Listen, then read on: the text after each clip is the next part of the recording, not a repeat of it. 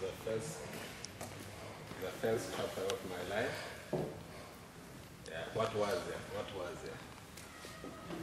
What was?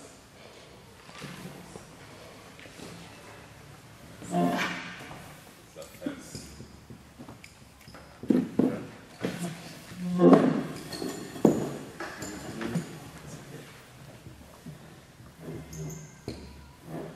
was the first chapter of my life and why? Islam is the last chapter of my life.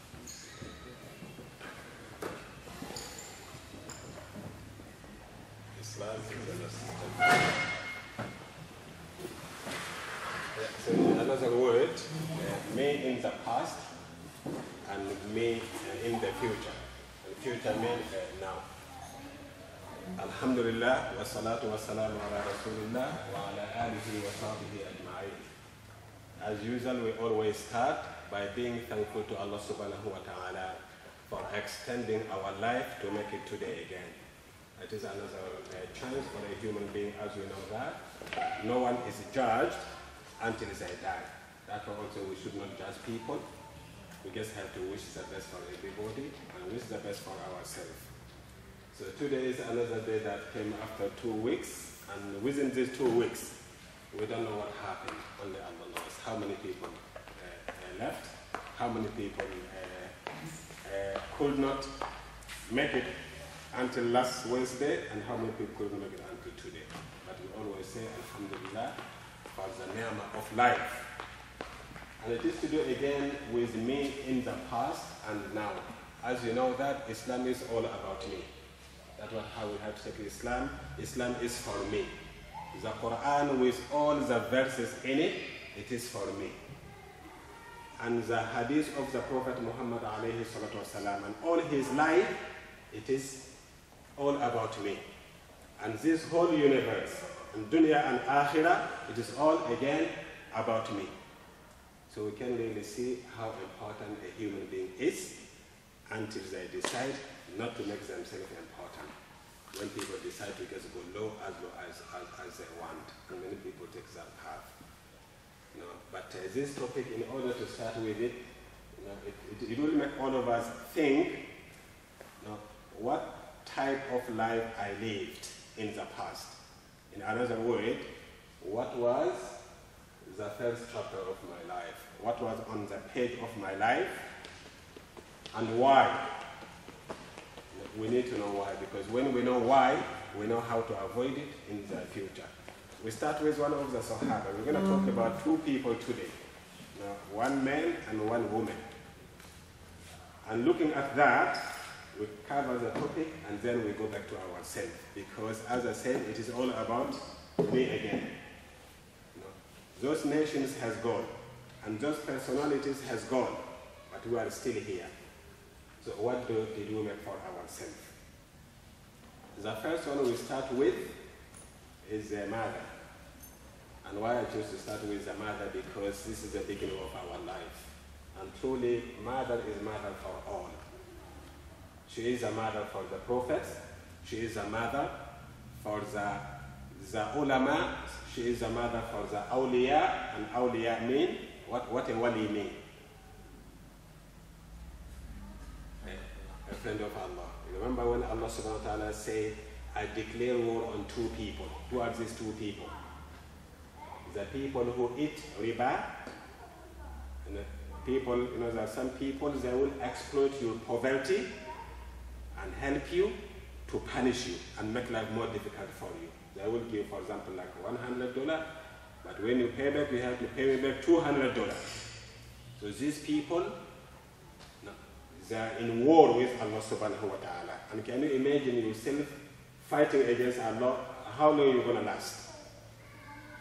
So this is one of the two people who are, in war with Allah, someone who is living in the riba, and the other person, someone who is fighting the friends of Allah. Man adali waliyan, man adali waliyan, adantuhu bil harb. Anyone who harm a friend of mine, I will fight him. I will declare war on that person. And who is a wali? Wali is not someone who can fly in the air or someone who can walk on the water, because even shaitan can do that. So who is a wali? Wali is not someone who is telling everybody, you know, I can do this, I'm this. No. They are silent, they are hidden.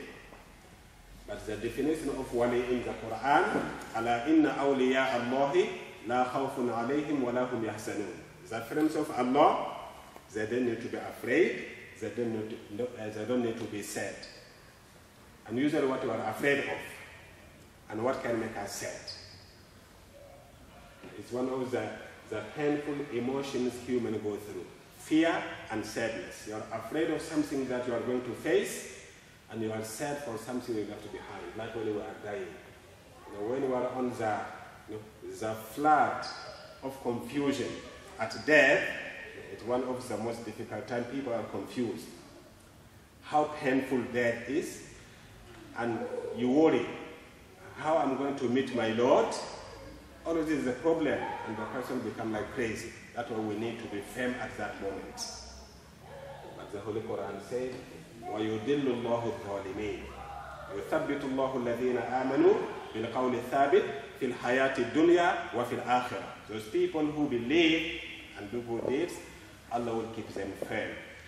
they will not be panicked, they will not be confused. Even at the moment of death, they still know what to do and what to say. And they will give their will to their family. Oh, my son, oh, my daughter, oh, my husband, oh, my wife, oh, my this. Dunya played with me enough. I wasted my life. I don't want you to, to, to go through the same mistake. Now I realize it was a dream. I mean, people have the time to give their will. So they give their will to their family. So Allah will keep them firm. And some of them, they end their life with La ilaha illallah. And that is their last word. For people who used to be very serious in their life, and they took La ilaha illallah with them everywhere they go. I'm a Muslim and Islam is my way of life. That's what it means to keep La ilaha illallah with you at every step you make in your life. When they are dying, it will come again because the word is alive in, in their life. They will say again, La ilaha illallah, before they leave this world. So definition of a wali is someone, alladhina amanu wa kanu yattaqoon. So iman is mean faith and belief in Allah and all the things that we have to believe in, plus taqwa.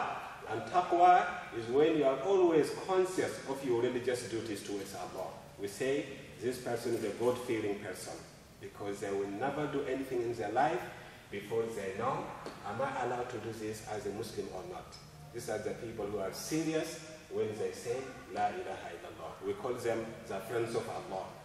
You know, Iman and istiqamah. I'm a believer and I will be straightforward in that claim that I made. So we should not declare, declare war on these people. We should not declare on any human being anyway, especially to the chosen people of Allah subhanahu wa ta'ala. For example, if you go to many Muslim world and you go to the prison, who are there? The scholars of Islam who can change the world with, with their teaching, who can change the young people, because the young people, they want to know the truth. They have the energy, and they have the mind. They just need direction. And who can do that? The scholars of Islam. But the people of corruption, they don't want the, the young people to know the truth. So what they do, they separate between the youth and, and the scholars, the young people and the elderly people. So they can really tell the youth, okay, live your life this way and that way. In other words, they will tell you, listen to us, follow our rules, our laws, but don't listen to Allah, don't follow the law of Allah. That's what they try to do, to make you slave for them. But always, when the merciful touch from Allah subhanahu wa ta'ala uh, be on us, we find our path right into the truth. So a wali is someone who is, uh, I believe, and then they really fear Allah subhanahu wa ta'ala. Every way they remember Him. Yeah, so we start with him as a mother, as a wife, and as a sister, of course, we can say what was her life and what her life became. Let her son Muawiyah tell us when she used to say, Ummi عظيمة الخطر في الجاهلية كريمة الخبر في الإسلام. My mother used to be very dangerous before her Islam and very noble after her Islam. Before her Islam, you don't want to hear about my mother. After Islam, she's one of the best women to listen to. You know, many people, you listen to them and they bring life into you because their words are fruitful. And Hind became among these people. No. Someone who used to be really called Hind, Akilatul Akbat. If somebody tried to make Hind's family angry, they will say, Your daughter, no, she ate human bodies. She ate somebody's liver. She, and you know, it is very bad when you really put somebody's in that picture. You know, you eat humans. And due to what? You know, the hatred she had towards Hamza. Him, it is normal. People die in war. We know that. You know, and when there is a fighting, people will kill each other. But going that far to go and open the dead body of someone, a human being, and open it like that and take the heart and chew it. Can you imagine? Usually, normal human beings, they don't even want to see blood. But Hind, even as a woman, as a mother, as a sister, she dared to do that. And she didn't have enough. She still wanted to do worse. We can imagine how her life was. And she told her servant, Washi, it is your choice. It is your call. If you can kill that man, you are free. And of course, Wasi, he used to suffer slavery. And we were born free, and we want this freedom to remain with us always. But due to the injustice of mankind in the past, somebody can just kidnap you and turn you into a slave, which is forbidden in Islam. In Islam, the only way for one to become a slave, well treated, is when you declare war on Allah subhanahu wa ta'ala.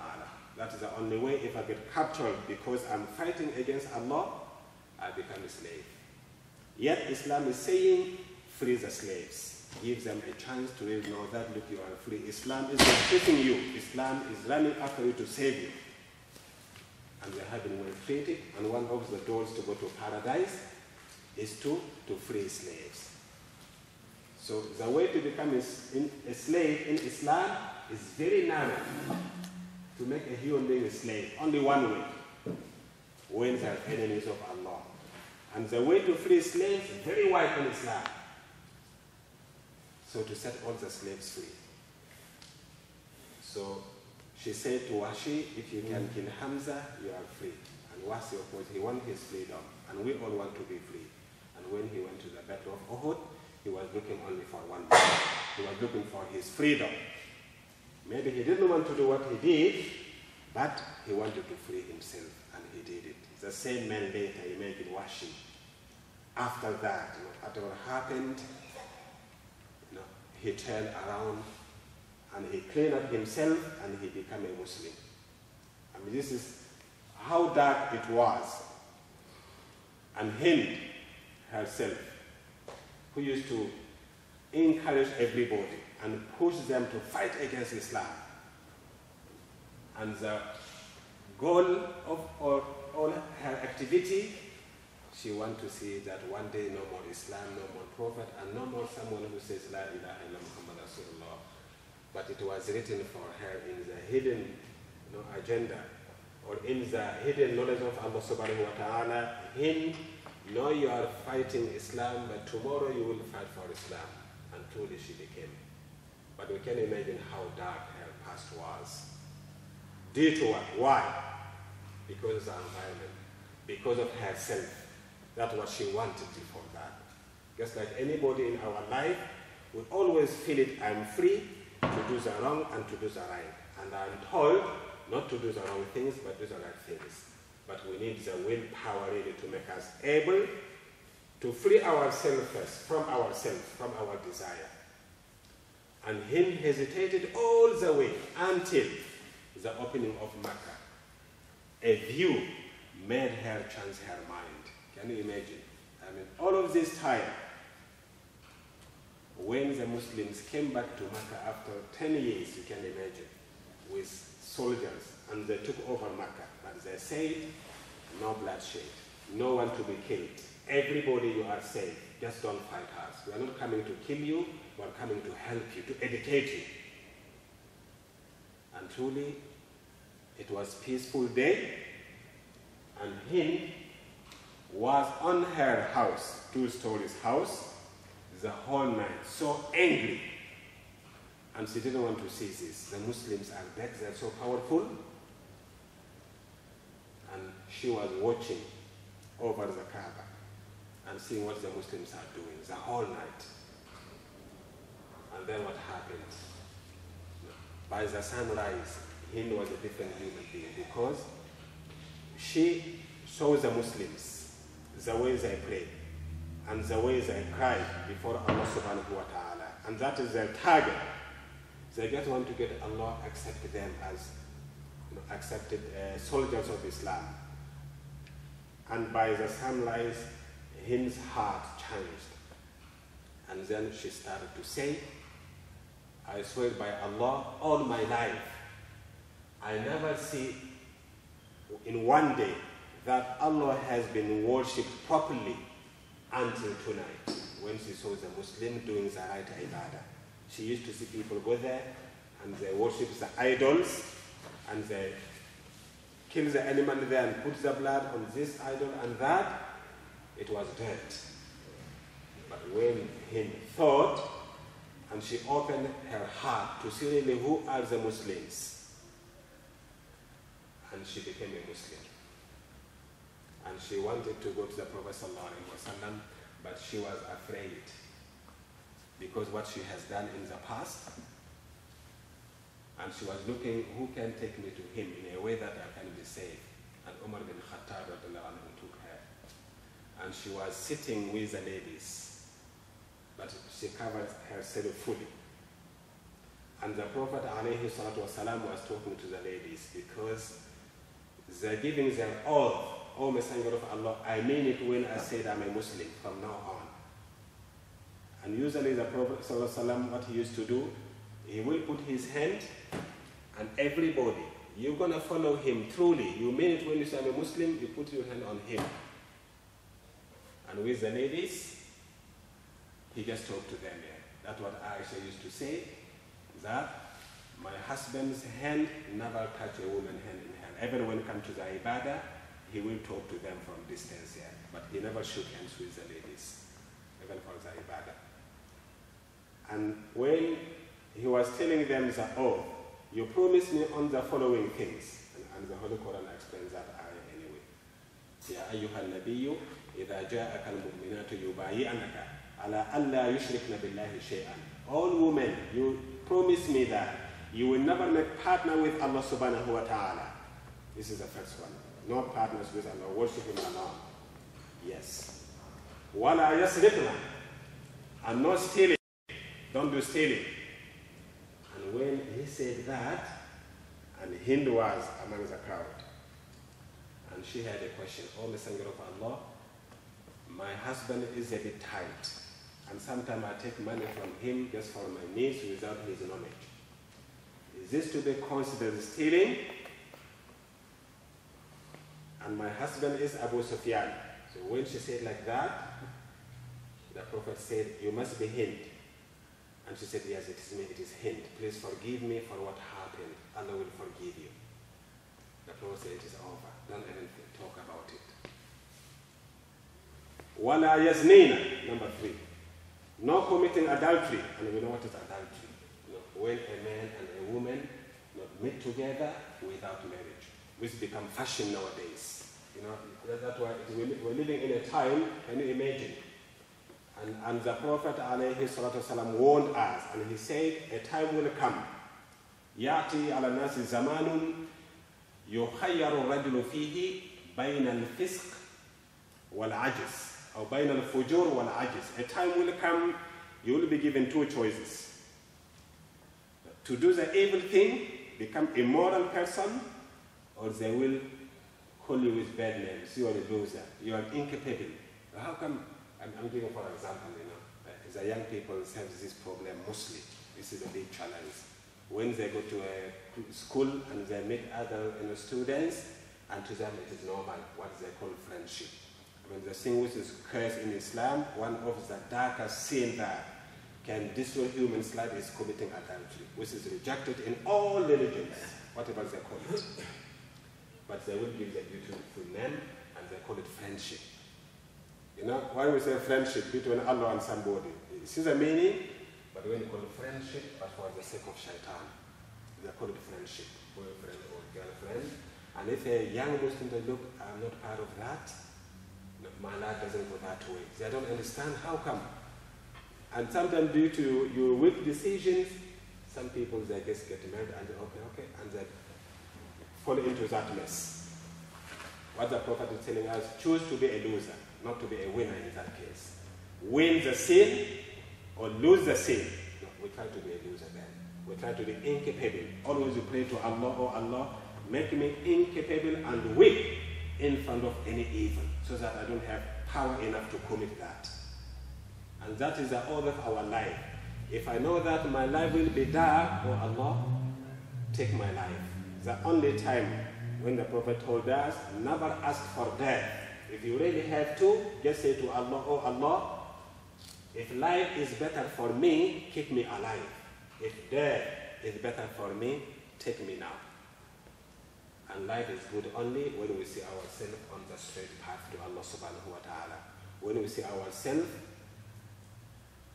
always in a situation that we will never make a step unless we discuss and talk to ourselves first. What about you, Lord? What about your religion? What about that? What about your prophet? What about your Quran? What about your deen? And then we make the decision. So the Prophet told us to choose that one. Even if they laugh at you, it's nothing only a dream. But on the judgment day, you will see something, real, uh, real result. So when the Prophet said a Muslim woman should not commit adultery, Hind, as a new Muslim, she could not believe that. What do you mean? And then she said, Our Tasnil Horror, any human being with dignity, will they ever commit adultery? Can you imagine? As someone who is not, not a Muslim, but they believe, I'm a human being, I have dignity. I'm not for sin, I'm not for this. And she couldn't believe somebody will commit adultery, especially a Muslim. And then the Prophet continued. ولا يسرقن ولا يأتين ببهت ولا يعصينك في معروف and also promise do not go against the Prophet alayhi salatu wasalam in whatever he is telling you. And then what him said. Him said, I didn't come all the way, leave my home to come and sit down in front of you. And then after that, go and ignore you. Which means he couldn't believe how dare a Muslim go against what the Prophet said. That was his comment was. We never make all of this decision to come here and listen and we just ignore you again. I'm a Muslim from no mean, it is a new beginning of my life. وَلَا يَقْتُلْنَ أَوْلَادَهُنَّ And not to kill their children. Then what he said? He said, actually, we raise them up and you kill them. So you know what you're talking about. And when she said that, Omar could not hold it. Omar, he could not stop laughing. I mean, what type of woman is he? I mean, she dared to speak out like that, killing the Prophet, know, because her son Hanzala was killed in battle. He said, we we raise them up, and you are the one who killed them. But she remember you know, what, what happened there. It means no more, no more killing. And you can imagine truly, after everything she had that, and when she went home, and she not- noticed, what is in my house? Just like now she realized that idol sitting there and that idol, and she took her axe and smashing all of them up. And you are the one who misguided me all of this. Can you imagine when you wake up? Then you realize, oh, the way I used to live my life was wrong. No, I just realized all my life, for example, I used to ignore my salat. Now I feel like I'm a human being. All my life, maybe I used to eat haram. All my life, I used to cheat. All my life, I used to lie.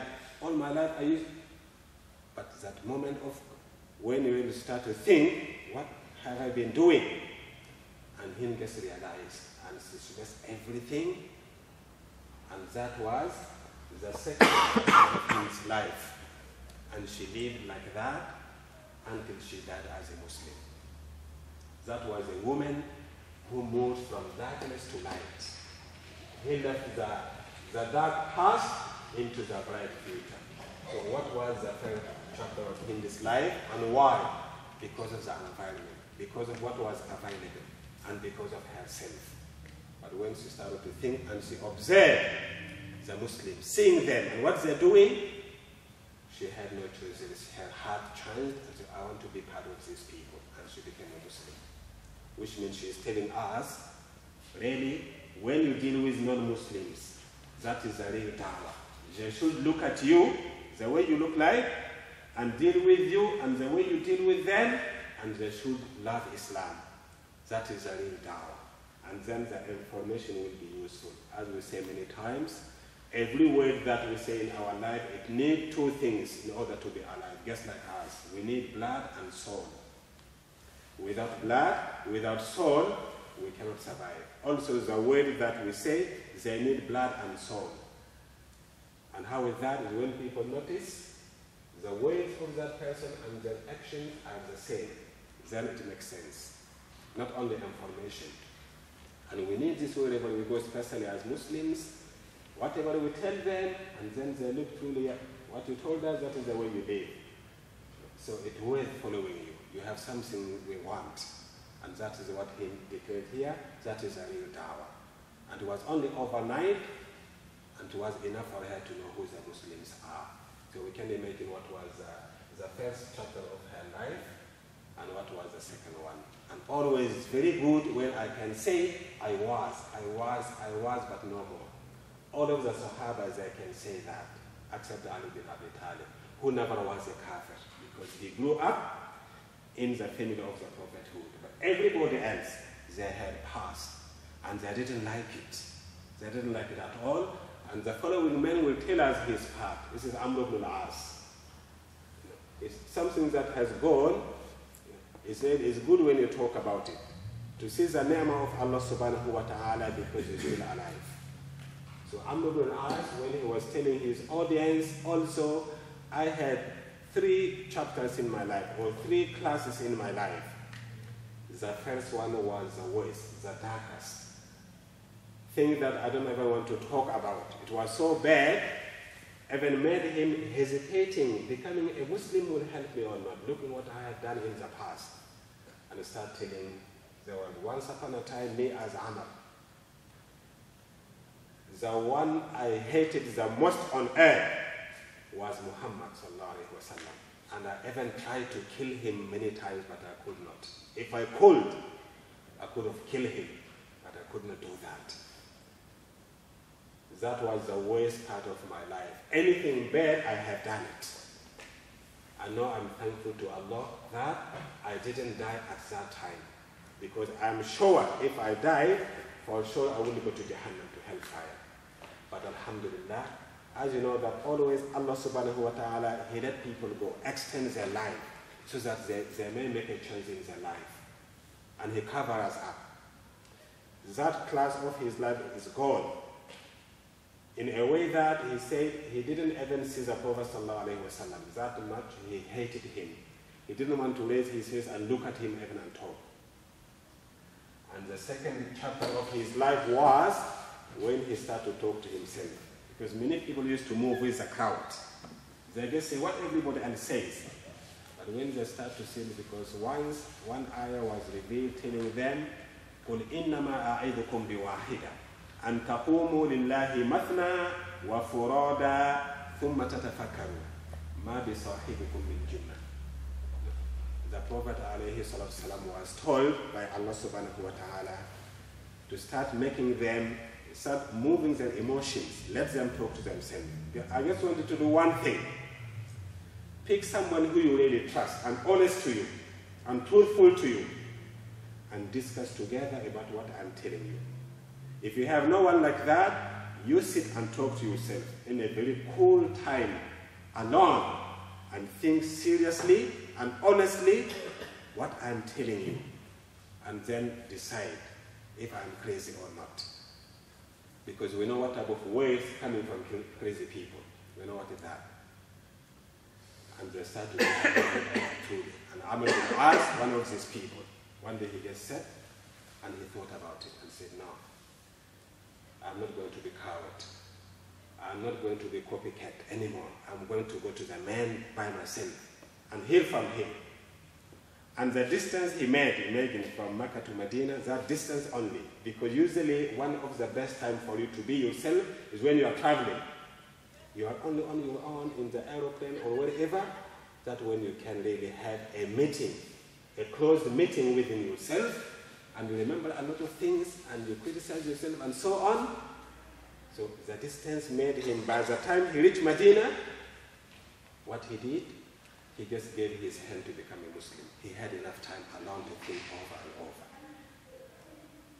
But what happened? Because when the Prophet saw him, he stood up and made him sit down next to him. And he smiled to him. And Amr asked him, Why are you smiling? And said, Because I know how intelligent you are. You are one of the three most intelligent Arabs everybody know. But I don't know how come, what took you so long? And Amr said, It is now. He is in my hand. Hold my hand. I want to become a Muslim. So the Prophet gave his hand, and Amr pulled his hand back. What's wrong, Amr? You know, he, you know, many people, they are victims of their past. They just don't trust themselves. I can make it, I can make it. Because they think, but what I have, what? No more, but, but that's why he pulled his hand and said, look, I have only one condition to become a Muslim. The Prophet said, what is that? He said, you promise me, will Allah forgive me my past? The Prophet smiled again. What's wrong with you, Amr? Don't you know that Islam, it, it, it cuts your life into two pieces. When you become, when it chop your past from your future. That's what Islam does. From the day you say, from now on, I will turn my face to Allah and live with Him, it's just like you didn't have a past anymore. You are just like a newborn. And also when you become a Muslim and you make some mistakes in your life, it's not over. Do tawbah. Ask Allah to forgive me. Oh Allah, I made a mistake. I did wrong. Please forgive me. And He will. Always like that. And that's when Amr, he became a Muslim and he put his face down. And then he said to the audience, that was from that day. I followed him step by step. Whatever he tells us to do, we do it. And I'm sure if I died at that time of my life, surely I will go to paradise. But I didn't die.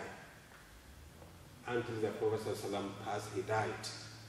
And then we became on our own. Can you imagine usually under the super, supervision of your father? How, what do we do?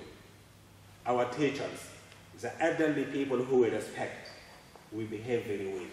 And we have someone to refer to or listen to at least. How stable I am, for example, I will never go against what my parents say.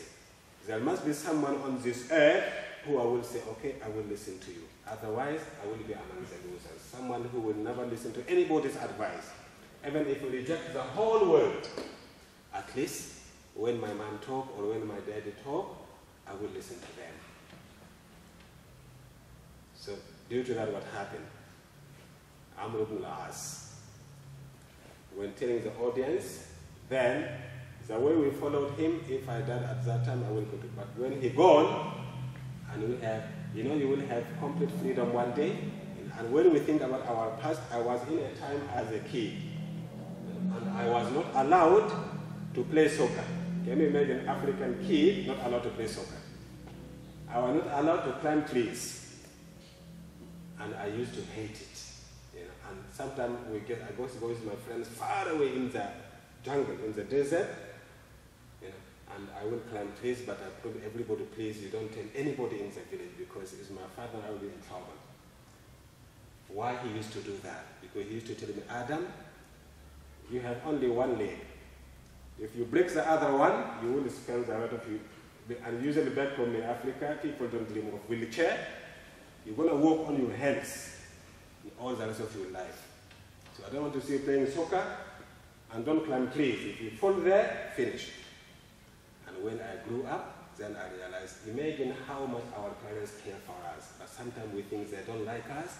How come I cannot do this, I cannot do that? Now my father is gone. I know I can see. You are free, Adam, do whatever you want to do. Even ignore his advice if you want. But now you are facing life. Especially when you have your own kids. Then I remember, oh, I know what my dad used to say and my mom and so on. Uh, So truly, it is only people who care for you. They will say anything to you even if you get upset. Even if you leave the home. Even if you tell them, get out of my life.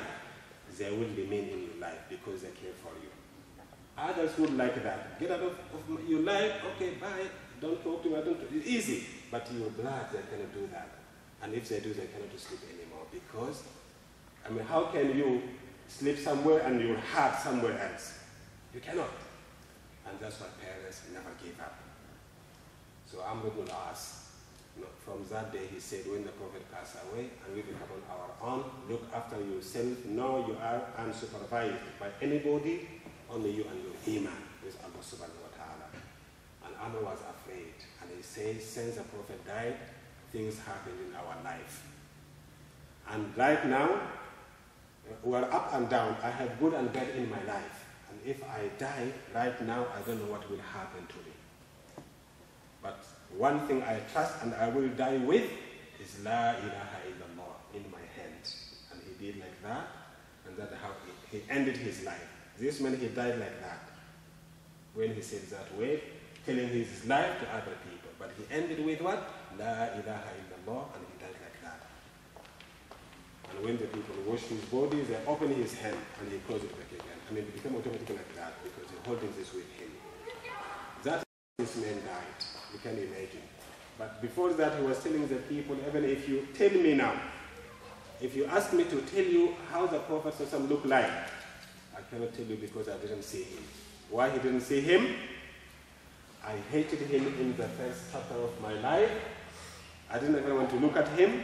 And in the second chapter of my life, I loved him so much and I respect him. And I don't even dare to stare at him or look at him at all. Always like this. You know, when we respect our parents, what we do? You know, they talk and we go close to them and really listen to them like that. And it was very rare to see a kid looking at the parents in the eyes you know, and talking or even asking why or why not. But all of these things is happening and we can see there is a lot of changes in our life.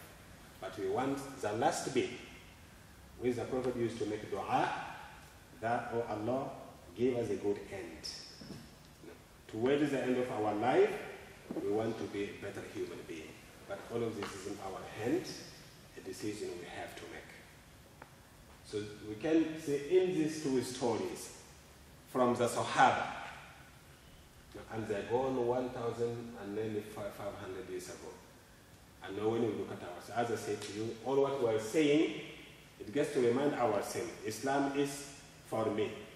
All the verses in the Quran is for me. Islam is for the self.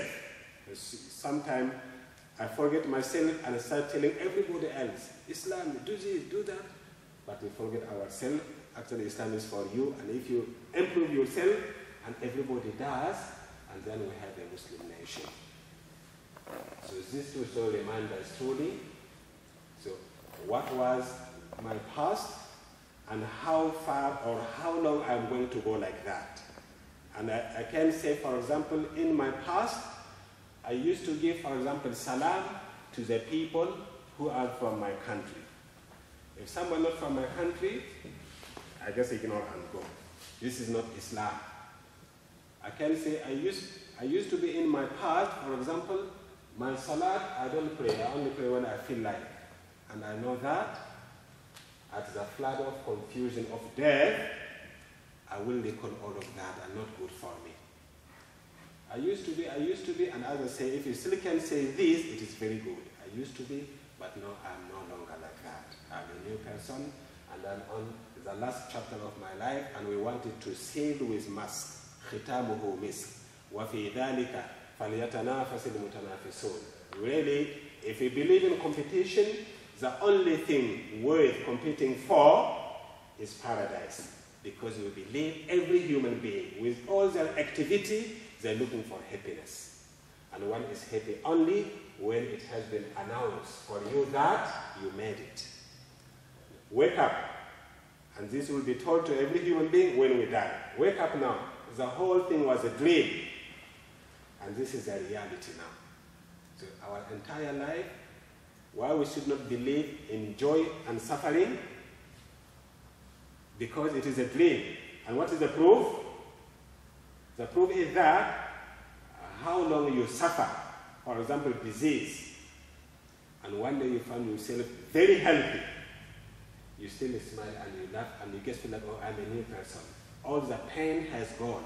I was patient in it, the reward is there for you. The same thing is the happiest person, you can just go and tell them very short news, and you see them become you know, very sad and very depressed at the same time.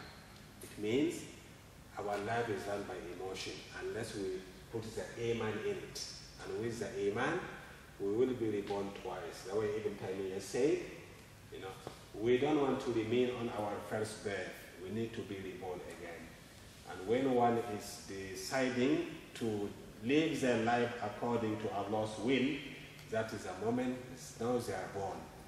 Now they are alive. Before that, they are, they are dead. So if we ask ourselves now, and we look for the medicine, how was my past, and what have I, what, why I did what I did? And asking ourselves this with why, it can help us make a big change in our life. Why I'm like this, and how to change that. It needs sacrifice. To be a, to be a new man, a new person, we just can imagine when a new baby is born, how happy the family is. Very happy, rejoicing. And they forgot what the mother went through, who gave birth to this child, nearly died. So we can imagine in order to get a new baby, who suffers a lot, the mother. And the agony of birth you know, is close to the agony of death. But the difference is that somebody else suffered for our birth. And if you're not careful, we will pay for that suffering plus the agony of our death when we are dying. So in order to get a new baby, see the suffering the mother go through, the same thing we learn. If I really want to become a newborn, I have to go through a lot of pain. And what is that pain? There is something I love, but it is sinful and not easy to give it up, but I will give it up and go away and suffer that pain for a while, and then I will get used to it. Because it is a habit. No, something we really love, we can't let it go. And that's why we have been warned never fall or never fall in love with dunya. Because once you do, you can't let it go anymore. Never do that. Put the dunya in your hand and Allah in your heart. Because if you put the dunya in your heart, everything else will be out. And when we really want to love something, we need to know it worth it or not. In order to be a new human being, we have to be reborn, and we pay for that pain. I have to sacrifice this and this and that. I have to let it go. Sometimes we even have to sacrifice the surroundings, the people who are around your life or in your life because they are not helping at all. And sometimes we have to leave even the country because you really want to be a new person and you're doing anything possible for you to be successful in that, being as a second you or the second me. But simply when we ask why this is happening to me in my life and talk to ourselves, maybe because of this and that, maybe because I don't listen to my family, maybe because I don't listen to my teacher, maybe because I'm not doing my salat. Maybe. So when you ask why, and then we get answer from ourselves. Leave the world alone first. Don't, you know, it is a sign of failure when I start blaming other people for my problems. Now, everybody failed in life, but the real people who fail are those who just keep on blaming and blaming and blaming and blaming. I have to go back to myself The way the Holy Quran said, وَفِي أَنفُسِكُمْ أَفَلَا تُبْصِرُونَ You're looking to solve problems, and sometimes we seem to look for it all over the world. It, maybe it is just here with me. So we have to go back to ourselves first and try and really criticize ourselves and clean it up. And we don't need it to go too far sometime. And this all can happen when you start to get think Islam is for me. Islam is for the self. And this is a past that I don't want to repeat again when we talk to ourselves. ourselves like that. It happened truly. But it will not take me away. It is over, and I will make a new beginning in my life. And that beginning is Islam. And all the Sahaba, including him, Amr ibn al-As, Khalid bin Walid, Umar bin Khattab, Abu Ubaidah, and you name them all, they say that is Islam. They were looking for someone to lead them. And that person came to them and they accepted him. In the beginning, they criticized because they really want to know the, the, the, uh, the reason why they have to be Muslims. And by time, they came to know it when they start to be honest to themselves. Usually, in Africa, maybe the same thing in your country, in my language, they say, when the truth is said, the head will nod by itself automatically. You know, sometimes when somebody is talking and it makes sense to you, you just sit there and do like this. But it doesn't make sense, you become like that. But the head automatically is not, yes. The Sahabas, they went to that level, you know. Nobody forced them. They walk all the way to the same ends which they used to be against, and these are the brave people. Who are the real brave people? I knew that I was wrong. I will not be ashamed to tell the whole world I was wrong, and that person was right. And this is my new beginning now. These are the real heroes. That made Al-Najashi, the king of Abyssinia, he had two choices declare my Islam and lose my dunya and win my akhirah, or keep it. And he chose to be a Muslim.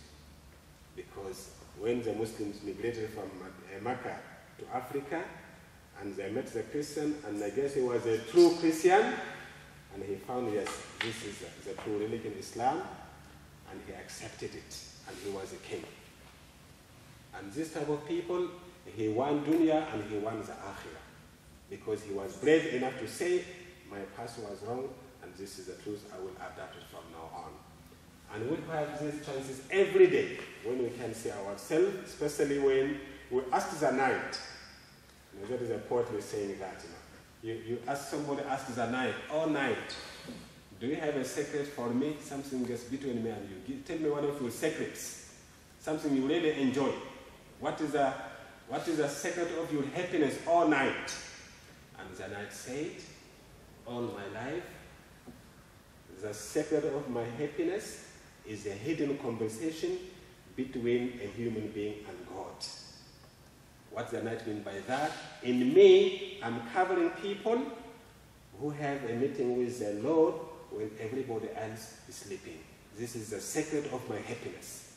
And can you imagine when the night is witnessing you? The sun watch you and help you go and work. Do the daily ibadah, go to work, to study, and move around. And night time, the night another witness for you. I will have a rest for my tomorrow, and I will have a rest for my after tomorrow, which is on the judgment day, still using the night. And the hadith told us, day and night are your transportation to the akhirah. Use both of them. Worship Allah during the night and worship Allah during the day, because this is the only two transportations that you have. So do not abuse them. If you cannot make it during the day, use the night. You can make it because some people like Abu Huraira, he used to say, everybody there, get up and make tahajjud, and so on. But he didn't make tahajjud what he used to do. He used to become the student. That's why he memorized a lot of hadith more than anybody else. So if you go through tahajjud, I go through the knowledge. That's why he used to, after Isha, he pray his witr, and he used to say, it is my teacher who told me this. أوصوني خليلي على ثلاث لا أدعهن حتى أموت. my beloved one, my prophet, my teacher. He, he gave me a will of three things after looking at him as a student. Three things, and I will never give them up until I die. And what are they? Naumun ala witr. I will not go to bed before I pray my witr. Wasalatu duha. And I will pray duha every day. Wa sawmu thalathati ayyam min kulli. And every month, at least I will not fail to fast three days three days a month I will fast them day number 12 uh, no day number 13 14 and 15 this means the, the middle of the month so you can really see everybody in what ways they go to Allah subhanahu wa ta'ala so hearing this really it is again can you imagine we're still alive? And Allah gave it to us open. It is your life, He gave it to you, and you make it dark or make it bright. Because the time will come when we will say, I had all of this opportunity. It's very important to know what Allah wants me to do, and what I want to do, and what the world wants me to do. Three choices. And which one are you going to choose? Honestly. And we're living in an environment, can you imagine Australia? You be whatever you want to be, you do whatever you want to do. The complete freedom that Many Muslims cannot practice in the Muslim countries, and here you have it. And they give you green light. Do it if you dare.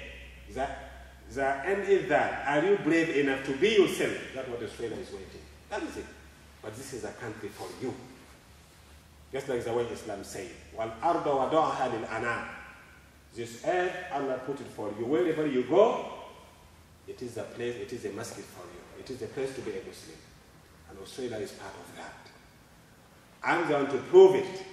Do I really mean it when I say La ilaha illallah Muhammad or, or not? And we have to give this answer. And why not in a place like that? Can you imagine last time the, uh, in the school what we used to teach? Education department, you know, uh, Linda Ruth, uh, Linda Tooth. She came there and said, look, this is Islamic school and we want everything here to be Islamic. Comes to music, we want to hear Islamic music here.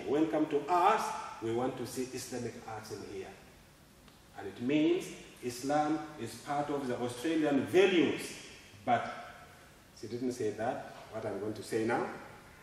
But do Muslims value Islam in Australia? Australia value Islam. This is your center, your masjid, your school, you Islamize it. If you don't, it is you Muslims against Islam. That's how it is truly. Be yourself because this is a freedom we have. In here we can do whatever we want. And we have so many honest people around, truly, and they will speak out the truth. You are nice or you are bad, that's how it is. And they're not pretending. So it is up to us to decide what was my past. And my past mean from tonight, from the day I'm born until tonight. And maybe not tonight, maybe yesterday. From that day we realize in our depth as a Muslim, I know what I have to do. Why am I doing it? Who is stopping me? Not Allah, not the Prophet, not Australia. So who, who then? It must be me. I'm the one who is against Islam. I'm the one against myself. Even shaitan, he only whisper, but he cannot control our. Jinn are very weak in front of the believers.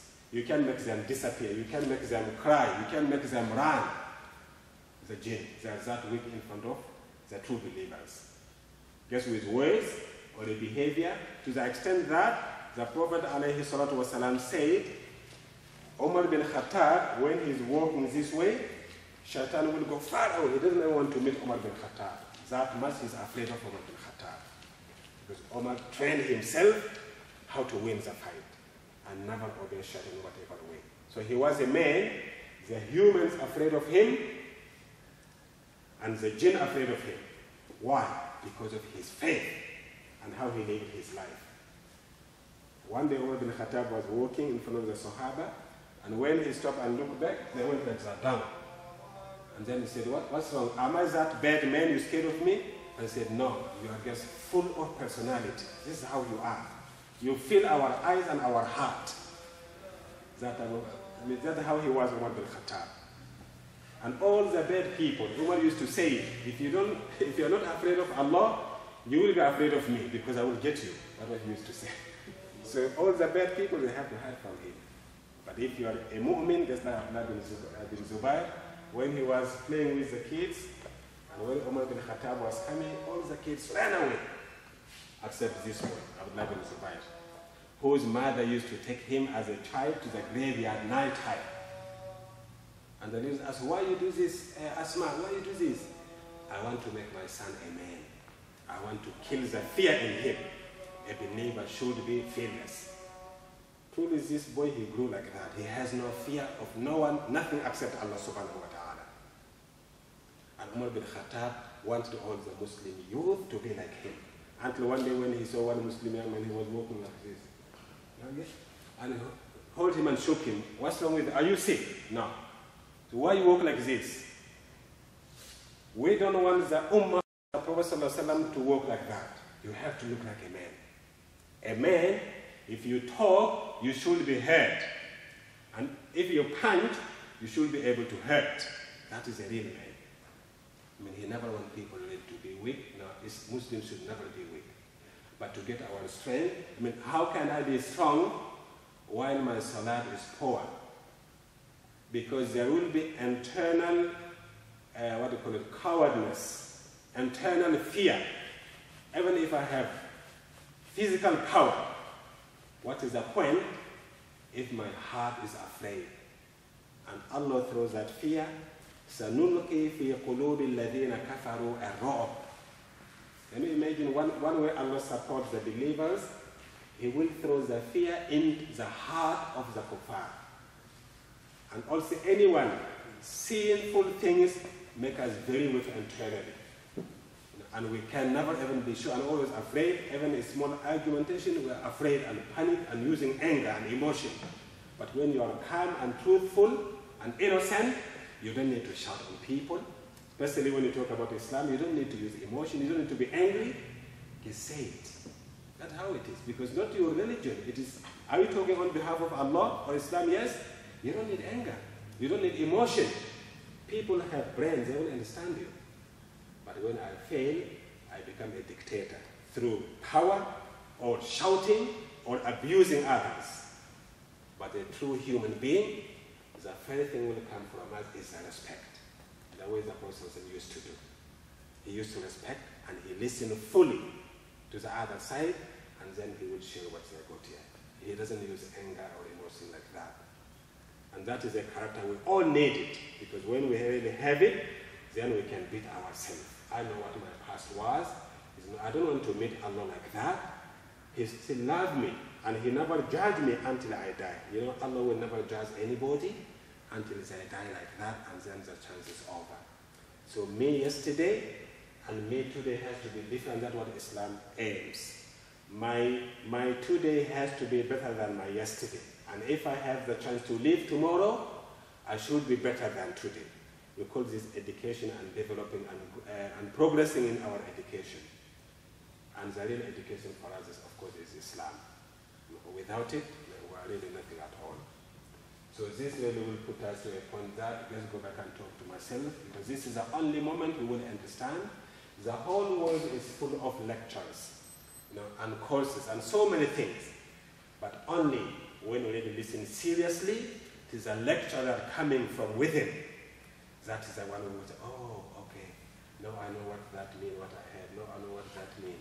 It is something like that you know, to come from uh, in ourselves. And that is the only thing that nobody else can give it to us you know, to decide to change yourself. Nobody can change you, even if they want to.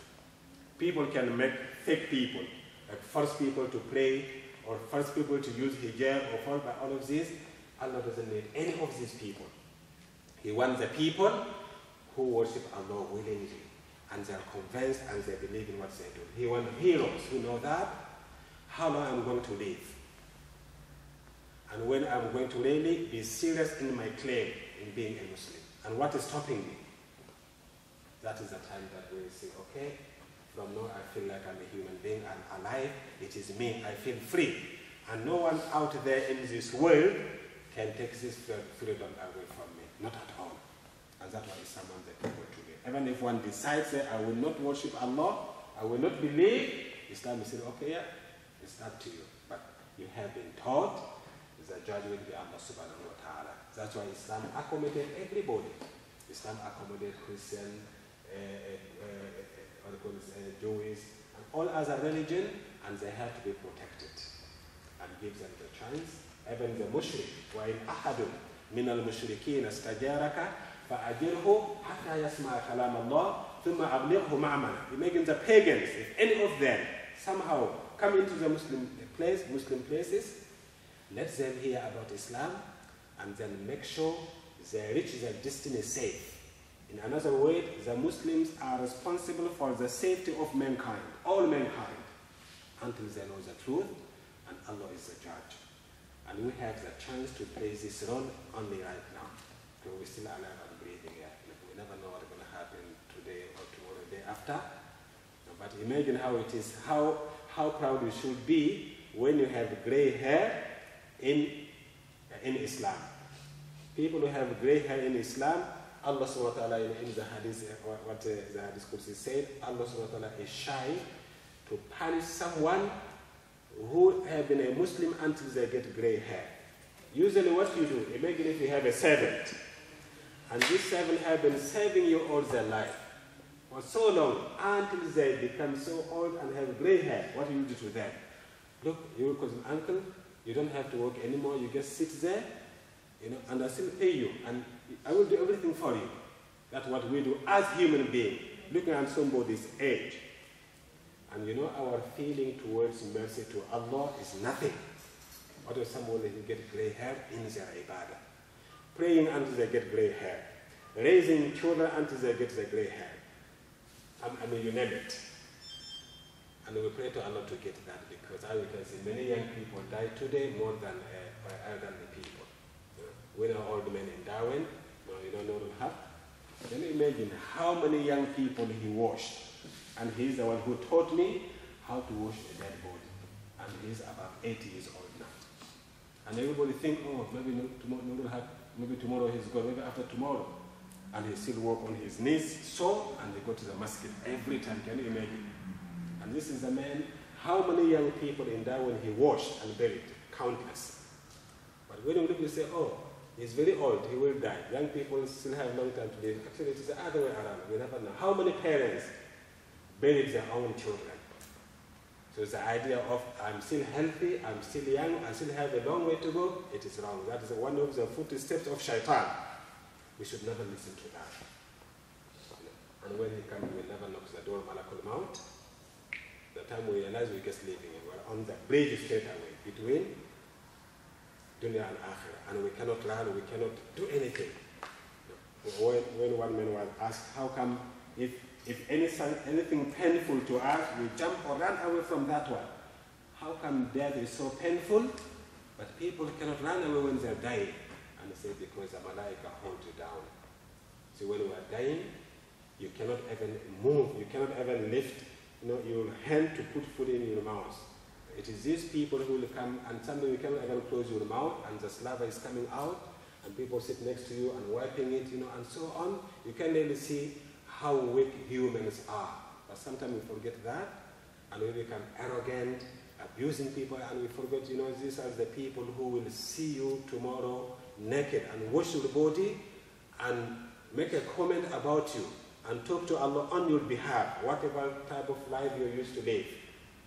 So we respect every human being because we want them to witness for us tomorrow when we die and they walk behind our dead body and whatever they say, Allah will listen. If they have good comments about us, it means we used to be good people, it's good. If someone say, oh look, uh, I used to see that person, yeah, they're praying, their person is, is good for us. But if they say the other way around, it's bad for us. Every human being, we are witnesses of Allah on earth. And we want the last testimony or the last struggle of our life to, be Islam. And the world is running out of, you can see now, our world on the agony of death. Mean, war is popping up everywhere every day. And every next news, killing and war and fighting and so on.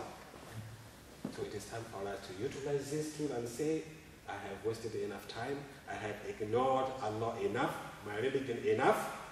I want the last bit of life at least to be clean. I want to meet Allah when He loves me. Starting with what? My ibadah, my behavior, in every aspect. So this is a very simple topic make us go back to again and check our life and rewind it and see how it was. And are we happy for it to go like that or we want to make a chance? That will exist and we got the story of Hind and Amr ibn al-As to let us know that it's never too late because can any one of us kill somebody and open them, open them like that and take a bit of their meat and chew it? No. People who did that, they made it and they came back to Allah. And Allah declared in the Holy Quran, radiallahu anhum wa an. He is happy and he accepts all of them. It means we can do it also. But simply when we go back and say, who I was yesterday, and who I will be tomorrow. And tomorrow we start from now in what we call future. We start from now. So this topic inshallah will be uh, inspiring for us to realize that no one on the whole universe can change you until you make the decision. I know what Allah wants me to do and not to do, and I will make that my path. That's how human life is. And then they become candidate to be in paradise, inshallah. We still have five minutes. If you have a, a question about something else or about the same topic, we can talk around five minutes. Is, is the timing okay so far? Is all right? Is the timing? Yeah? Yeah, just keep on like that, inshallah.